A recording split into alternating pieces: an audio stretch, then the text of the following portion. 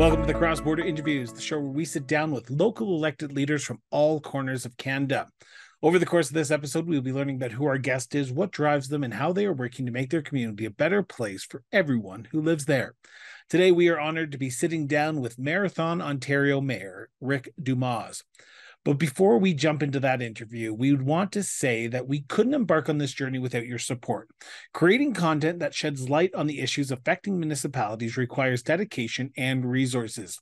Now, if you believe in our mission and want to help us to continue to grow, please consider visiting our support page on the Cross Border Interviews website at www.crossborderinterviews.ca. Every contribution, big or small, goes a long way in ensuring that we can keep delivering the kind of content that you've come to expect from us. Now, on to the interview. Rick, I want to thank you so much for doing this today. Greatly appreciate it for sitting down and uh, talking about yourself and talking about the town of Marathon, Ontario. But I want to start with you, and I want to start with a general question, and it's a basic question that is the premise of this show, and that is where did your sense of duty to serve your community come from, Rick? You know, it's a good question, Chris. But the reality, I think, I look back and uh, pre 1991, when I first ran for council, I was involved with many organizations within the municipality, youth as well. I ran, uh, you know, youth uh, baseball, youth uh, bowling, as well as uh, different various groups, men's fastball, ma- uh, marathon's first uh, Harley owners group, which is a group of individuals who want to provide service back to the community through our biking habits, you know, Toys for Tots programs, and then highway cleanups, adopting highway programs. Always been involved pre 1991. Then, you know, along the way, I was a small businessman and I was a little bit frustrated with the then council and mayor, and I wrote a letter and I asked for some clarification on taxation. I didn't get really much of a response, so I, I wrote again and then no response. So at that time, I thought, well, the only way to get you know and make change within the municipal government is to put my name forward, and that's what I did in 1991, and I got voted in overwhelmingly with the most votes in that that era, and I haven't uh, looked back. I, I, ran for mayor in 1997, uh, Chris, and uh, there was five of us running. I lost by about 12 votes to an, inco- an incoming individual who uh, who basically was a and it was a lot of history around that. Chris it was around the Ontario teacher strike, and I told the teachers at that time very point blank, and that's the kind of individual I am. Uh, I say the way it is that I was not their employer. The Ontario government was their employer, so I think that really hurt me in regards to some of that support from that that group of individuals. So I lost. I was out of council for three years. It was it was quite a a dramatic thing for me because that six years prior to that, I was really involved and I, I, missed it a lot. So again, I ran in 2000 and got reelected, and then uh, in 2003, I decided to uh, to take on uh, one more term, and then 2006 came along, and I decided I'm going to run for mayor, and uh, the rest is history. I've been acclaimed uh, since 2010. So I, I want to talk. You are the perfect guest to ask this question to because you have been at the council table for some time and you have seen mm-hmm. how municipalities have changed. And I think right. this is the most important thing I want to talk about today with you, particularly with your time frame that you've been on council. How much has municipal politics and municipal governance changed over the tenure of your time as municipal uh, council and as a municipal mayor? Well, it's it's changed in my view dramatically. I mean, obviously with the the uh, onset of the social media aspects in the last decade or so, it's really made council uh, a situation where you really, you know, you don't know if you're pleasing the public because it, there's a lot of uh, the you know the information, the innuendos being shared on social media. I, and for one thing, Chris, I've never participated in any social media platform whatsoever. I don't have any of them downloaded on my phone or my my iPads but I, I, try to stay tuned in with our younger councils. But I've I've always tried to be a leadership in my my concept right from day one, 1991, and I looked at the council. Then it was more. We, we dealt with a lot of things. We used to have a lot of paperwork, Chris. We used to deal with every issue. Um, we used to have six hour meetings in the 90s. And then we st- slowly started to eliminate that and say to administration, use vet through that information and bring the relevant information to council. So I've seen a dramatic change in that with our leadership. And then uh, as I became mayor, I thought, you know what, my concept was always open, accessible, and and uh, you know, come and talk to us. So when I when I first got elected as mayor, I brought to my council and through the Ontario Municipal Association, sorry, the, the Ontario Municipal Affairs Regional Office, who is our governing body from the provincial government. I said I want to have an, an open door policy. My my thing is always about open door. So I I then opened the council chambers. They thought I was really crazy, but I opened the council chambers from six thirty to seven for anybody in the community to come and talk to us. No agenda, no no uh, delegation. Just come and talk to us. But there was no advancement of any of the discussion we had with those individuals. They could just come in and and speak their piece on whatever the issue might have been. The reality was, we did that for better part of a decade. Nobody really came. Maybe a couple individuals over that whole ten years. So we didn't cancel the program. Felt that well, we're we're trying to offer an open door policy. So with that being said, I also wanted to get incorporating the change in councils and trying to get youth involved, Chris. And so, uh, 2011, I asked my council to go through the uh, uh, government week in October and every year in Ontario. We go to high school and we talk to the students about governance and, and governance models and what their knowledge is in governance. So I asked my council to incorporate election, uh, having an election at the high school, having two individuals represent the youth in our community on our student council that was successful. We have not. We have been having students. We just swore in our two youth uh, last week at council for this year. We've had that successful program for now 12 years, and we're really the envy of the province of, for communities that say we got youth engagement. So we really, I see the changes in uh, about my leadership. My leadership is own is very honest and open and direct, and uh, I've seen more of that. That's my big scene and changes over the years in regards to the councils from the original 90s when I first got elected. It was a lot more behind the scenes, and you know we weren't televised. We we uh, actually our council has been televised for a better part of almost 30 years, live. Even back in the 90s, we were live, and and when you're live, it's unique because you don't have any any uh, opportunity to pull that back, right? So there was some heated debates uh, on many different nights. Let me tell you. So a lot of changes, and I'm really pleased with the changes uh, through my council, and of course my leadership more working with our administration team.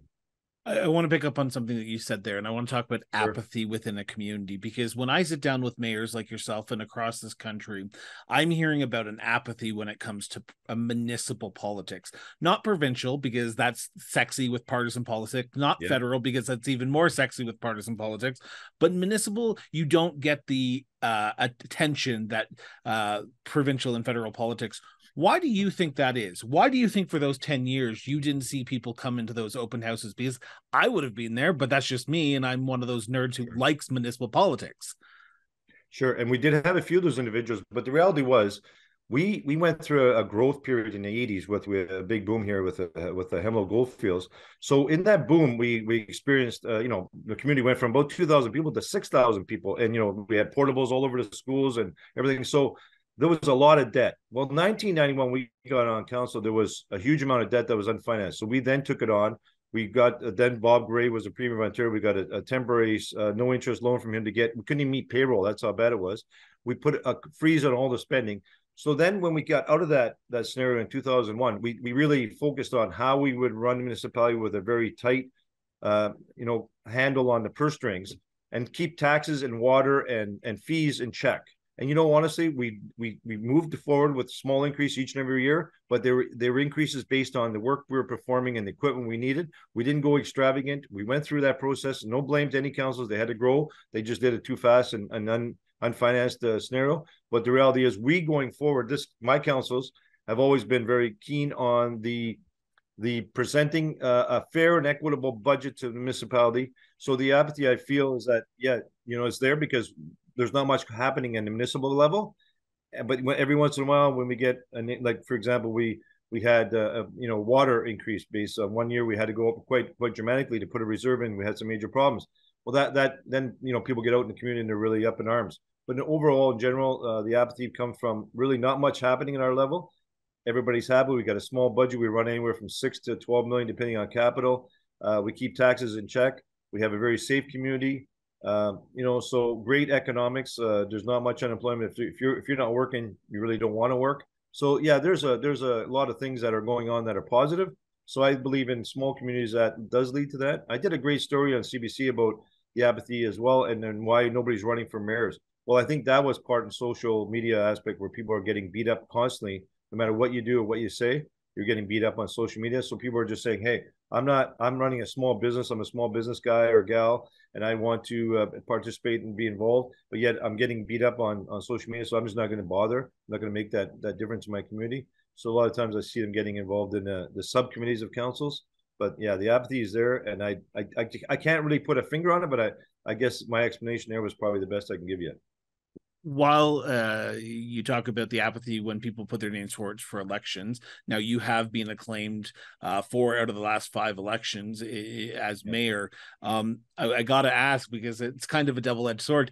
It's great that you don't have to run against somebody, but would you prefer if you had to actually run against someone and be able to get those ideas flowing and have that exchange of ideas where people are making the best foot forward for the town and saying, you know what, I think your ideas are wrong. I think my ideas are better and let's put it to the voters to decide. And at the end of the day, if my what my decide my side wins, then it's great. If your side wins, even better. Who cares? Because at the end of the day, it's all for the betterment of the community.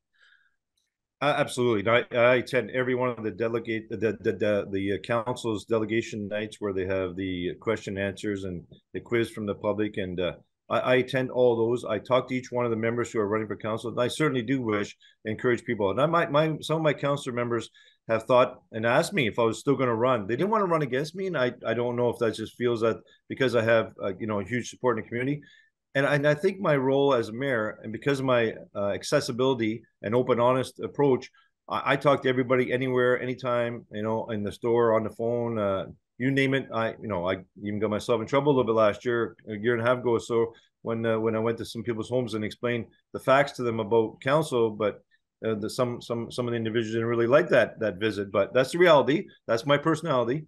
So uh, you know, as far as uh, that individual is running against me, I certainly do encourage it, and I and I I'm, I ask some of my younger members of council to really focus on what's that look like for them when I'm done. I mean, I will all be done eventually, and I you know my time is is going to come. Uh, whether it's next election or not, Chris, I can't really say. I, I'm still passionate about the job. That's the one thing that keeps me involved. I'm involved with uh, Northwestern Ontario Municipal Association as well as I sit on the AMO board of directors for the Ontario province.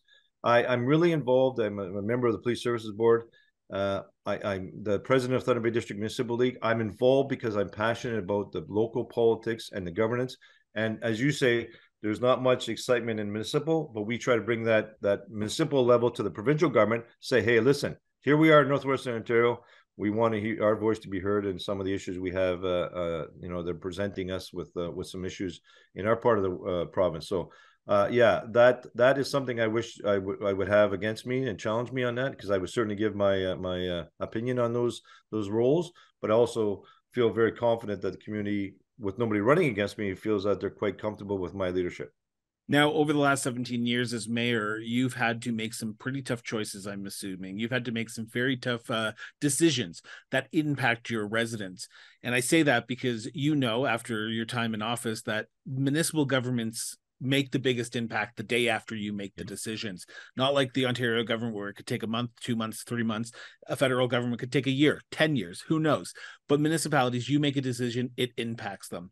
How do you balance that to make, and I'm quoting you here, fair and equitable community for everyone because i can imagine sometimes you have to and i'm not trying to i'm not trying to put you on the spot here no, but no, i can imagine these are the tough decisions you have to make because a fair community is great but you know the reality that sometimes not everyone's going to get what they want or not everyone's going to get their fair share of what they want.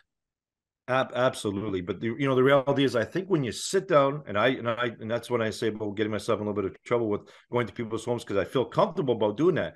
But the reality is i'll sit down with anybody anytime make time for them and, and on their on their terms on you know i got to work I, I retired now but i had to work i had a real job and i had to go and, and do my service. And after the day i would go and talk to anybody deal with anything.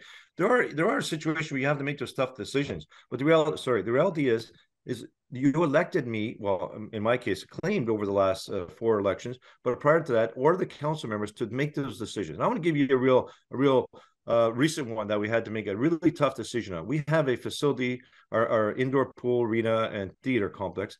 We started the process in 2016, Chris, to build a new facility. So this process takes long. So we had public consultations. We had five public consultations. We even went to our First Nations neighbors who utilize our community for a lot of recreation, health, and uh, shopping and education systems. So we went to them, asked their opinion on this new build. Then we start looking at dollars. Well, when we originally looked at that, there was no availability with the government, federal, provincial infrastructure funds. So we said, okay, let's continue to focus on this and look at getting more, so put more money each year in budget to get more of a more detailed draft plan, uh, design concept. We did all that. We found location, We got everything worked out. We went back to the municipality in 2022, you know, just at the end of the pandemic. Said, okay, here we are. We're at about 56 million, roughly to 64, depending on some of those wish list items. But we're going to look at this through 23. When I put $500,000 into the budget, get to the final details of drawings. Well, in the same time, our pool has been having issues around uh, the deterioration of rust on the beams and all that over the years. We knew this scenario was happening, but then lo and behold, we have to make the decision to shut the pool down because the engineer says clearly that the building is now not suitable for public occupancy. Well, of course, now the community gets in an uproar, and we made the decision and they want to have public meetings and want to do, you know, us to explain what happened. And I said, no. The reality is, we shut the pool down based on a professional engineer's report on the structure of that facility. And I don't know if you're familiar with the Elliot Lake scenario where the engineer approved it as well. Two people died and several other people got uh, injured from a, a roof caving in on a parking garage. We don't want that scenario to happen in our community, so we made that tough decision. Well, it really caused a lot of uh, um, you know, uh, uproar in the community and a lot of discussion around social media and all that. I met with everybody who wanted to chat with me about this scenario. So, is it fair and equitable? Is it uh, um, an open concept? Absolutely, totally open. Explain the situation, and every one of those individuals I spoke to directly and explain the shape and the you know they want to see pictures, they want to see the engineering report. We said no, no, no, because that would just continue to create more controversy. Because the guy who looks at the picture says, "Well, you know, I'm a grade uh, grade 12 student and I'm uh, uh, not an engineer, but I think that beam could be fixed. Well, no, not necessarily. That engineer is designed. He went to school for that and he structurally said the building was not suitable. So you know what I mean? It continues to create more uh, more debate around the decision we made. We made a decision. It's done. And guess what? In about a week, like any decision you make that are tough, they go away. And then we get on to the next form of business, you know, dealing with the budget, whatever it is. And that's reality. And I mean, that's the way I've been always governing. And people respect that. And so when I say to them at the end of the day, from my council's point of view, an administration report or an engineer or an architect or consultant, we are giving you the best information possibly to make a decision at the table. Remember, and I said this to many of those people, I use the pool five days a week with my grandkids, myself, my wife. We utilize the pool, so we're we're you know participants in that facility. Where a lot of people who are making criticisms never walked into the pool in many many years. So you know, I kind of weigh that out and say, listen, here it is. But that's how I approach it. And, you know, I'm to want to just quickly touch on everything. We had a, a student council last year who was a trans uh, individual. So we had to learn about that process. You know, so here's a student counselor, 17 years of age, and going through the process of, of transition. Well, we asked for them to uh, to give us an overview and understanding of that. We made mistakes, many of them, but we apologized and we said at the beginning we're going to make mistakes how we approach it. We asked the individual to come to our NOMA AGM in the spring, this spring 23, April 23, to do the presentation. There was about 230 delegates, 10 ministers there at that meeting. And guess what? It went over really well, and everybody was really appreciative, understanding how this individual is moving forward in the transition of, of their life, and about understanding about how all of us, older folks, uh, understand how this affects us and how life go, goes on. So it's a, it was a good learning curve, and we brought it to the forefront by saying, "Hey, we want you to make sure that you're fully uh, supported by our council to bring this to the rest of the members of our region to say, listen, you know, we can all work together, right?" You've mentioned the word respect a lot over the last five minutes in this conversation. And I want to ask this question because I think this is the important question when it talks about uh, engagement. How important is it to be respectful in engagement and understand that not everyone is going to agree with the decisions you make, but you have to respectfully give them five, ten minutes of your time and then have to do it in a respectful manner, not swearing at you, not yelling your name and not cursing your name, but do it in a respectful manner where you have to say, okay, I'm your mayor. I've been I've been acclaimed by you. No one's run against me. But as your representative, as the person who's leading council, I have to respect you enough to be able to let you vent to me about the decisions I've made. Absolutely, and that is one of our own logos in the municipality, but it's also my personal ones. Respected, and I'm listen. I'm not perfect, and I make mistakes, and that's we all do. No one's no one's perfect. Absolutely, and I try to do my best, and I tried to listen to everybody, and listen is the key whether you like my response, and again, my response is honest and, and forward. There's no BS. It's here it is. Here's why we made the decision. And I live it. I live here. I pay taxes. I pay water. I ride the streets. I run over the potholes. I get my garbage picked up by this town staff. I utilize the facilities just like you do. And the golf course greens are not in good shape. I play on the golf course and I get a bad putt and I, right, yeah, you know, I'm mad, but I, am up golf and It's a wonderful day. How, how, how bad is it?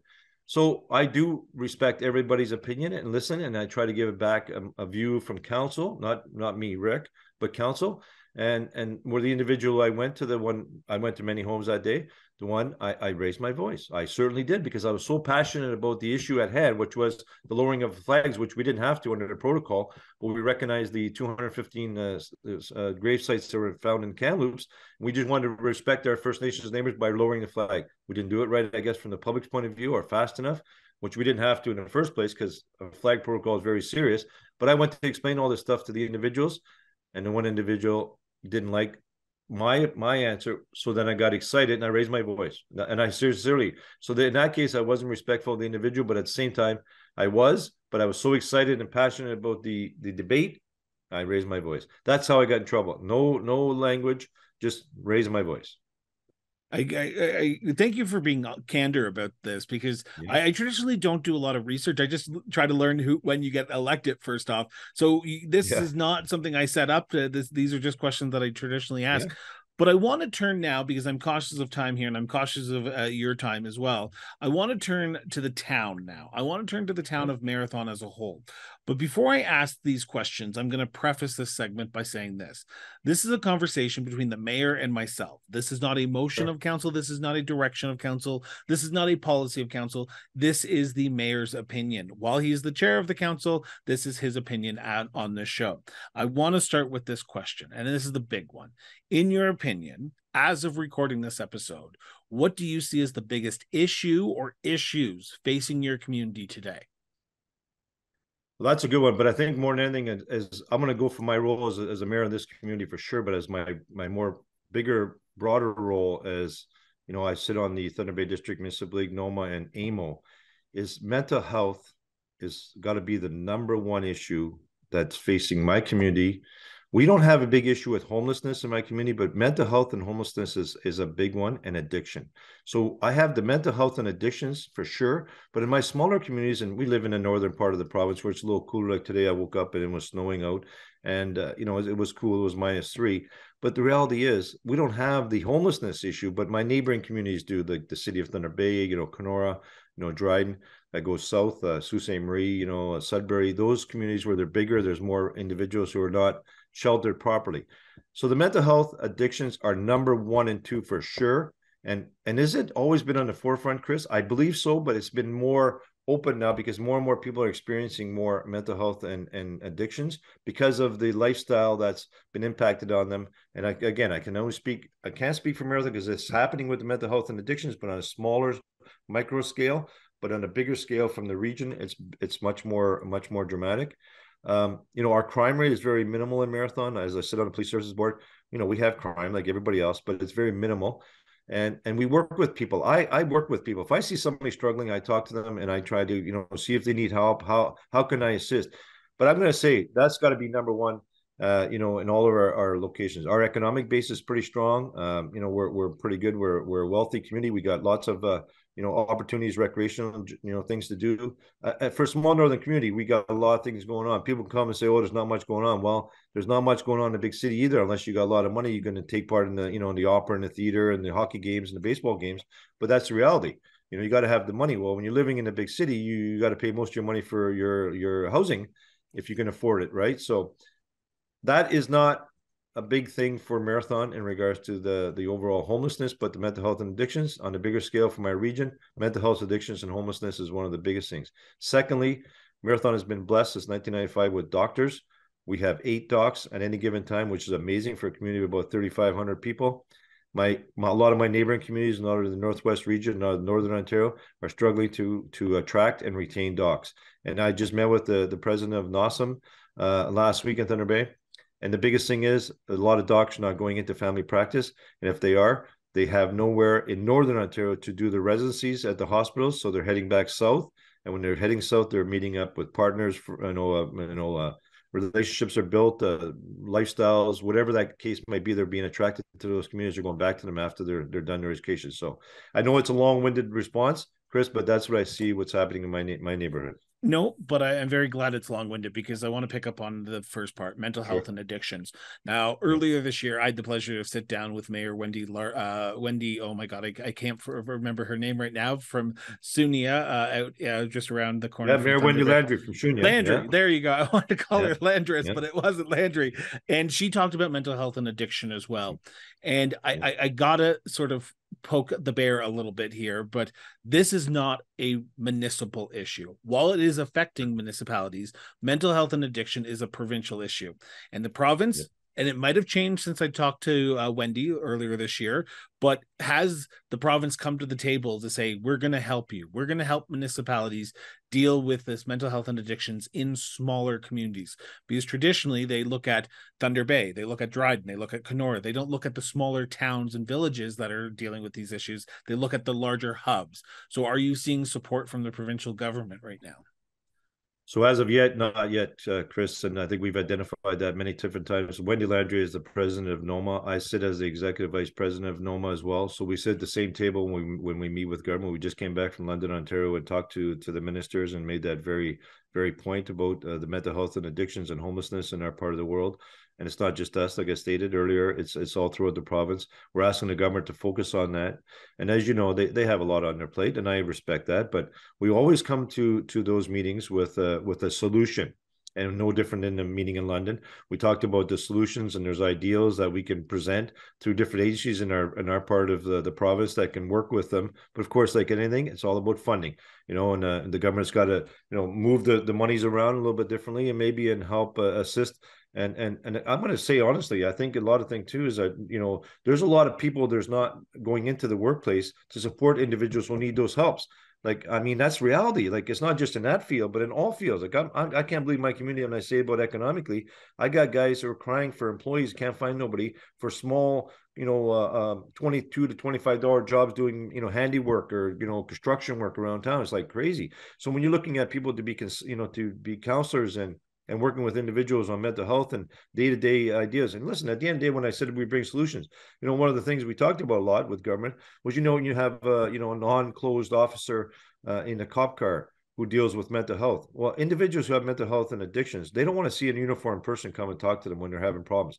So we need more of those people in cars. Yes, they're going to be trained under the police act, but they're also maybe not full police officers, maybe just you know counselors working with police officers to go and deal with those people who are in crisis.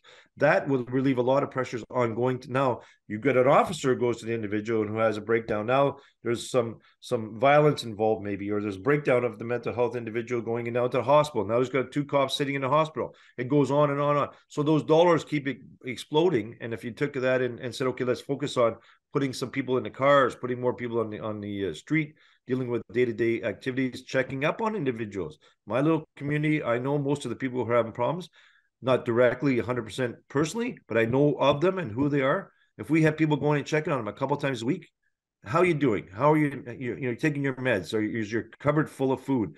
Uh, is your rent being paid? Whatever those cases or scenarios are, those individuals are bringing down, that might save a lot of pressures on the upstream of our, our healthcare and policing systems that you know it's a, it's a cycle thing and that's amazing. Maybe maybe i'm talking silly but those are some of the solutions we try to bring to government.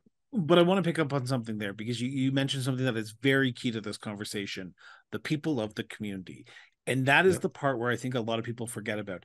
You can ask the province to help. You can ask the federal government to ask. You, as the municipality, can help out.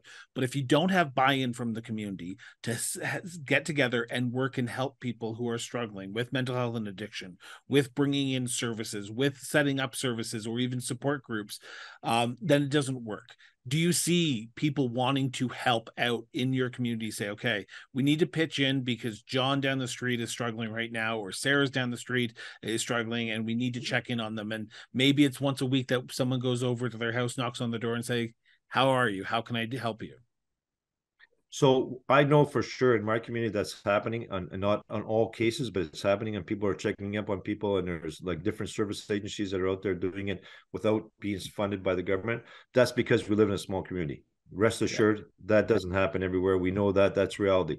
It's not happening in bigger centers because there's no direct contact and knowing of Sarah or John or whoever's in, in, a, in a bit of situation or struggling. You know, so so can we get more, uh, you know, government support? Yes. Can government focus on that? Yes. How do we get that? But then they're they're being pulled at all the other different areas. Like, and we just had an announcement here in our community of a 14 bed long term care facility. We know our community is aging, like every other community in Ontario, probably that for, for that matter of Canada. But we're not having babies, and yet everybody I talk to, listen, they talk about all these brown people coming to our country. I support them. Let's come more, come over here because we need them to support our infrastructure, our jobs, our future in regards to our social systems. If we don't have people, we will be really struggling in another decade or two. So we need immigration. We need brown people to come. We need people from all over the world to come to Canada and say, "Here I am. I'm willing to work. I'm willing to bring a, a service or sector." So yeah, I don't know. Uh, maybe maybe some more of those people that are coming in as immigrants can come and help and help in our systems. And government has to focus on what are those are. So long term care facility in our community is being great.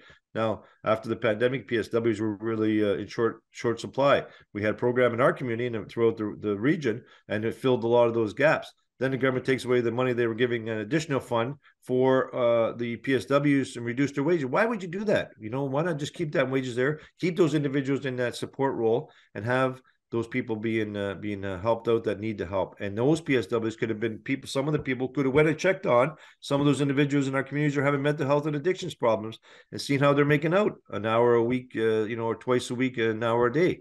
You know, all funded by the government. What? What's going? You know, those are simple things, but hey, there's a lot of big fish in the frying pan to fry, and I understand it, but you know, take it down to a macro level, and and it can just continue to grow from that level. So I want to take it down even closer to a macro, my, my sure. macro level here, if, if that's okay, because um, you you've just laid out three priorities that you see are issues within the town of Marathon.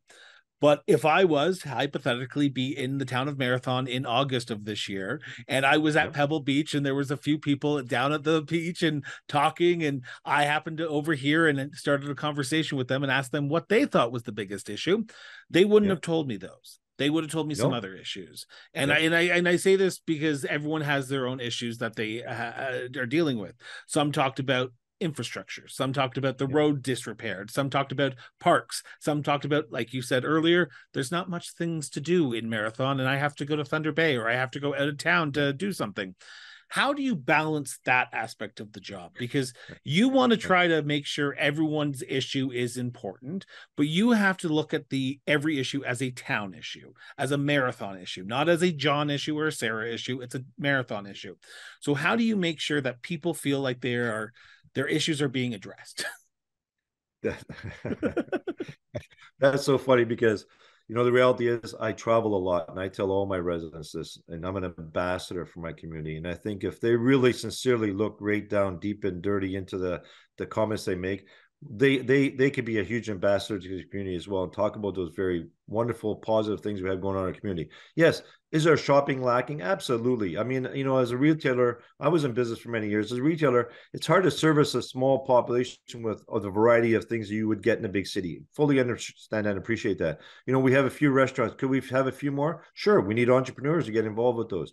But as far as your road maintenance, road repairs, you know, uh, shoveling, uh, your your your plowing in the winter, parks in the summer, we have the most amazing outdoor parks in our neighborhood in our backyard. With Pebble Beach, as you've seen, it was under construction for for the enhancement of that that. We had to cut that back, obviously, due to COVID uh, increases in supply chains. We had a bunch of other things planned there, but you know, the budget came in too high.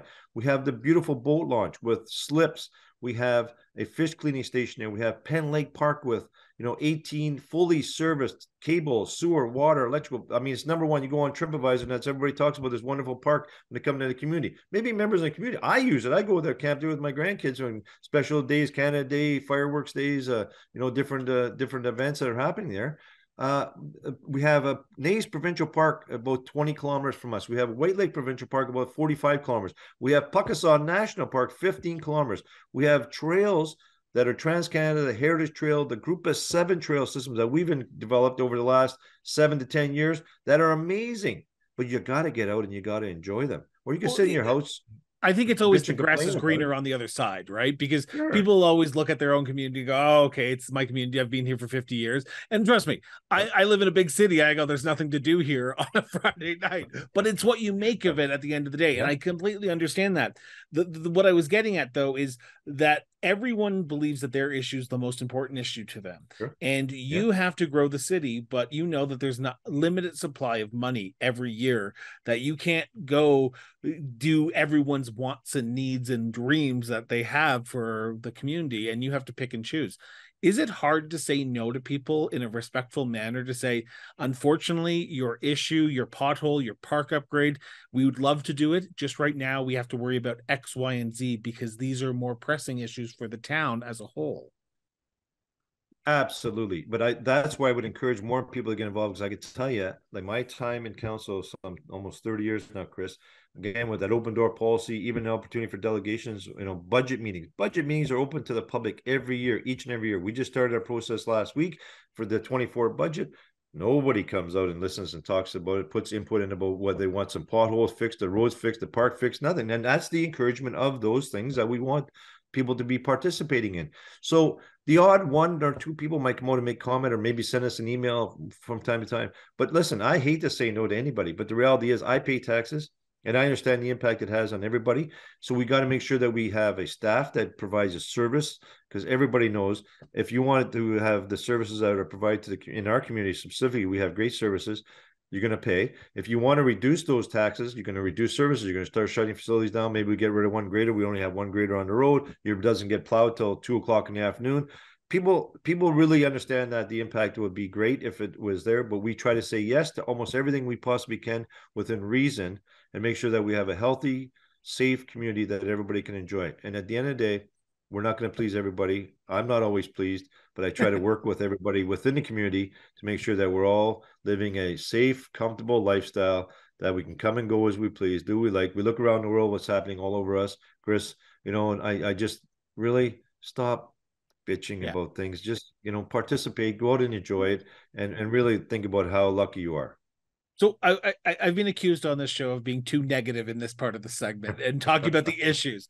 I want to talk about the accomplishments for a second before we turn to my last segment. And I I, I want to ask this sort of overarching question, and you can take as long as you want to answer this.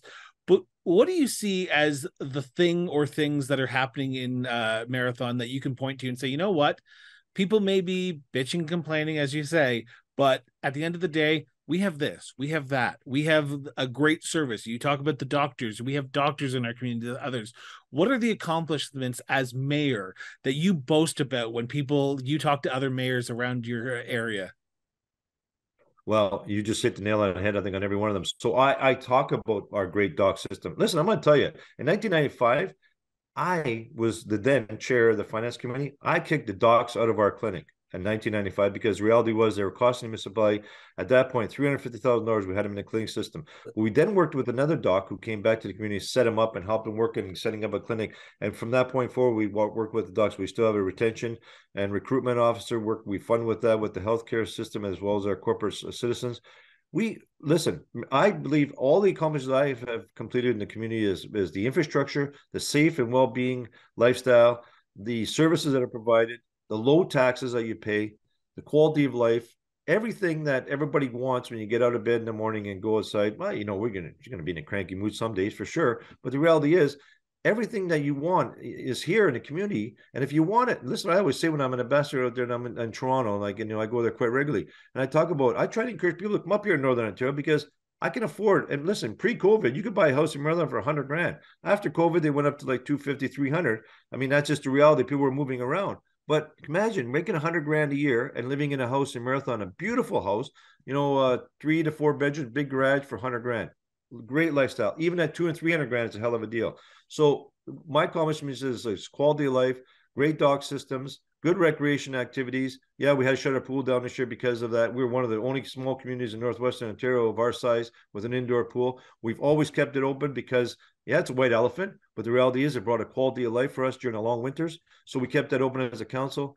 We had to shut down. No, not we didn't want to, but that's reality. We're looking at building a new active living center, which is about fifty-six million dollars. We're hoping to go to tender in twenty-four. That will be my legacy. Hopefully, if I can get that, but I want to make sure it's done properly, and we're not going to have no debt that the municipality can't afford when I'm long gone and I'm up on the hill and the daisies are growing over me. The reality is, I want to make sure that it's done right, and I made it very clear with council to our administration that we will do it right. We'll make sure we have the funding, both provincially, federally, or our corporate citizens to help out, and we'll go forward from that. So my accomplishments as a mayor is simply just the everyday activities we've been providing to the community as a safe, uh, vibrant, uh, uh, low cost uh, place to live in Northern Ontario. And you can get on an airplane and travel the world in short three hours in Thunder Bay because you can afford to do that. People do it all the time here. They're all over the place. They can travel to the Caribbean, to Southern Ontario, to be the East Coast, West Coast. We have a lot of Newfoundlanders live here. They get a chance to go home quite quite often because they can afford to do that because of the cost of living. So uh, I want to turn to my last segment because I'm cautious of hmm. time here, and I want to talk sure. about my favorite subject, and that's tourism. And I we we sure. touched on a little bit already, hmm. but I want to go in a little bit deeper now. And as someone who came to your community, and the only reason I I will be honest here, and I'll be upfront, the only hmm. reason I stopped in your community is because your beautiful marathon signs. I saw them while I was driving through uh, from uh, Manitoba to Thunder Bay, uh, to Sault Ste. Marie, sorry. And I kept on seeing this big giant sign that said marathon. And I was trying to figure out what, what, what it was all about. So that's why I actually stopped in because it was off the beaten path a little bit. But I wanted to take a moment and say, okay, I need to know, learn a little bit more about marathon. And I'm happy I did. So why should people visit Marathon? What are the tourist attractions that you promote on a regular basis? I know you've talked about them already, but are there some that you just want people to know about and those hidden gems that even if you are coming through Northern Ontario, you need to stop in Marathon for X? Certainly, I mean, you know, the reality is those signs were put up by the uh, the council in the early 2000s. We wanted to promote Marathon as a destination. We consider ourselves as the hub of the North Shore because we're the bigger community with more amenities. But that's not what it's going to attract you here. Tourism in Marathon is driven a lot by by the uh, the economic tourism, which is the construction uh, support for the mining sector. But we also have a lot of tourists coming here for the group of seven systems. Group of seven is big with the trail system, and you got to be into it. I got mm-hmm. residents in my community that have never never even been near the trails, but yet we got people from all over the world coming here to visit our trail system for the group of seven. We're continually building on that each and every year. We give money to the group of seven trail committee through working through the McMichael Gallery and the Group of Seven committee. And it's amazing the different locations that they painted through the 1920s, 33s. That's a big tourist attraction we had a great big uh, splash we're going to do with uh, with the McMichael Gallery and uh, and and down in Toronto, but COVID hit and we had to cancel. So we did a smaller scale one after COVID. And uh, I talk about the outdoor amenities. You know, great Lake Superior is wonderful from from BN, which is Heron Bay Pic River, the mouth of the Pic River, all the way to Neys Provincial Park. There's a trail system now you can walk. You can enjoy it. It's part of the Trans Canada. It's part of the Harris Trail system, tied in with the Group of Seven. It's signed very well. You know, the Penn Lake Park is a beautiful spot to come and relax right in the middle of town. You think you're in the middle of the woods, which you are, but you're right in the middle of the center of town as well. Um, you know, just the friendliness. And listen, I get a lot of comments back about the community, the friendliness of the people. You know, the the ability for them to to welcome you to come into the community and and assist you in any way. Uh, I, I I don't know what else. Like everything that we have in our community is to attract tourism is about the outdoors. We have a wonderful ski facility, cross country ski facility. We had world class training uh, teams come to marathon and train here for Olympics. You know, it's a it's a lit five kilometer at nighttime, and it's about I think there's 25 total kilometers of trail systems that are very challenging. They have three different colors. I can I'm only doing green. I might do a little bit of blue, but like the blue and red are like amazing world class tra- uh, trails. Uh, we have uh, we had a downhill ski club, but we had to close it up because of the uh, the changing in demographics. You know, we know kids mostly ski, but we share with our neighboring communities, Terrace Bay and, and Manitouwadge, with ski hills. So we promote them as well as they promote us. And listen, at the end of the day, it's all about us working together and come to the great, you know, shoreline of Lake Superior. You know, when you're down at Pebble, you've seen Pebble Beach. Pebble Beach is a world class uh, location. There's only a couple of them on the Lake Superior uh, shoreline and it's amazing. And the rock hounds that come once it's all done too as well. It's, so it's going to be completed completed this month, but a little behind the schedule. People come from all over the world, believe it or not. And I've talked to many many people picking up rocks. You know, because they love that. So that just that alone is a great tourist attraction. But honestly, it's just about the great outdoors and the, the great amenities we have. And we we just are in completion of another hotel facility, and we're looking. There's a, a participant looking at building another. So we're we're building more availability of room space as well as uh, as a you know the whole availability of getting out into campsite areas where the Pebble Beach was incorporated for another ten campsites. We had to cut that back and continue to look at it 24. So it's about the destination of the hub and the golf course is an amazing Stanley Thompson design, beautiful nine hole course. Uh, just love it, and the price is really cheap. So yeah, I encourage anybody to come to our community for golfing, skiing, walking, talking, hanging out. Uh, uh, just another friendly visit.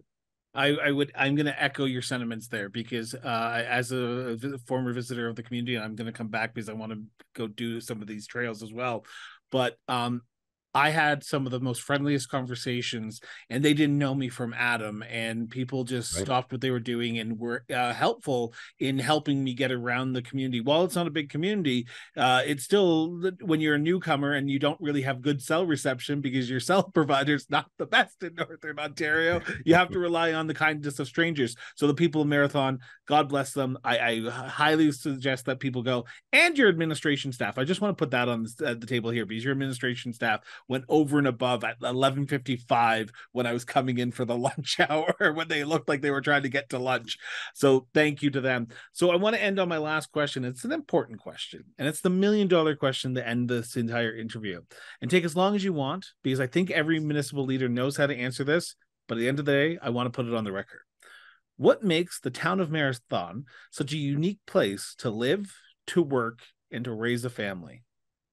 Well, that's that's a really loaded question. There's a there's a hundred things I could think of, but the reality is we were built on paper laced with gold as our logo. Uh, my dad worked in a mill. My brothers worked in a mill. I worked in a mill before I went to business. This community was built on on the mill, the the pulp and paper mill, and ran right through till 2009. Went bankrupt. We shut her down. Uh, we cleaned up the property. We took over the property. We're working on a port authority. Um, you know, Marathon honestly is just one of those little gems, and I think every mayor will say the same about their community, but it's a little gem that's a friendly community. We've we especially growing the way we did in the 80s. And I remember sitting down across from some of the Newfoundlanders in a coffee shop in the early days. And I was a business guy, I wasn't in, in municipal governance, playing hockey with them and playing golf. And you know, they're all like, "Oh, we're going back to Newfoundland when we're going to finish up work here at the Hemlo Goldfields, right?" And I go, "Oh yeah, like you know, that's too bad. You know, be a nice place to stay here. Why don't you retire here?" And this is back when we're in our thirties, and I wasn't even thinking about retirement. I mean, you know, and uh, lo and behold, I retired. They all retired here. Their kids are working in the mines, and the mine is still operating very, very good. It should it's got a life of mine uh, 2039. We have a potential palladium uh, copper mine uh, right in our municipal boundaries. Uh, hopefully, start construction in early 24. So, what makes Marathon a great place? Honestly, just the people, the people, the people.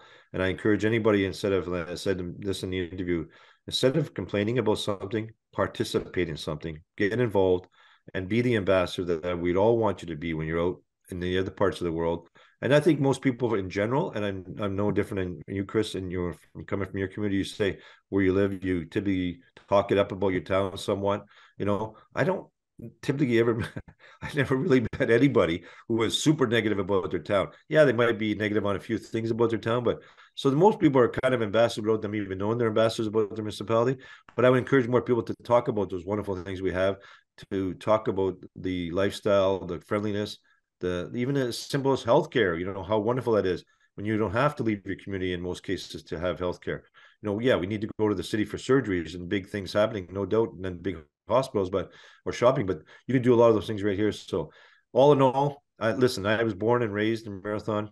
I'm going to die. I'm going to be buried up on a hill, and um, I'm I'm encourage anybody else who lives here to feel the same way. That feels the same way to get that word out there about how wonderful our community is, and it's a gem in northwestern Ontario. It certainly is. Rick, it is an honor and a pleasure to meet you, to chat with you, and spend the last 45 minutes with each other. Uh, thank you so much for serving your community, and thank you so much for sitting down with this uh, chat because I think we just scratched the surface. And next time I'm through Marathon, which will be the next summer, when I head off to AMO, I'll, I'll look you up and we'll hopefully grab a coffee before uh, I have oh, to continue to drive and you probably fly out to AMO. No, you know what's funny? I just I drove down to AMO through the states this year, and I I drive down because a lot of times for me going backwards is more of a hassle, Chris. I got to go back Thunder Bay, sit in the airport two three hours. I can leave here, be in Toronto in 10 and a half hours. So if it's in Toronto or Ottawa, it's not bad. London was a little bit harder, but then you go through the states, I was there in 10 hours. So it's all good, and it all depends on where where location. But by all means, please stop in. We'll get together for a coffee. Uh, you know, go for a walk. Maybe take one of the trails in go up on top of it. I don't know if you you probably didn't have the time to go to Picnic Table Hill, which is now called Painters Point Hill. Uh, we had a contest to rename it. It's the most amazing site. It's probably about a an hour hike straight uphill, mind you, but it's amazing. And you see the whole municipality, all Lake Superior, all the islands. Just an amazing, amazing location. And uh, the blueberries are amazing up there as well. So if you like blueberries, and it's usually typically in August, AMO's, so You'd be right in the blueberry season, so maybe put some time aside. We'll take a hike up there. It's it's a political day.